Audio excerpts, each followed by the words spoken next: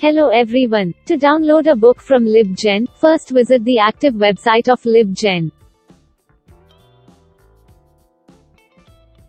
Enter the title of the book you want to download and press enter or click on search.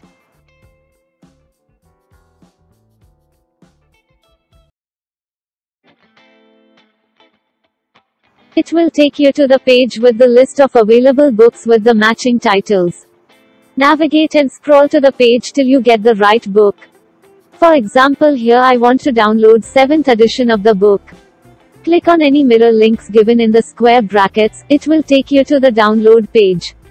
Click on get button to start download the book to your mobile, PC or tablet. Happy learning!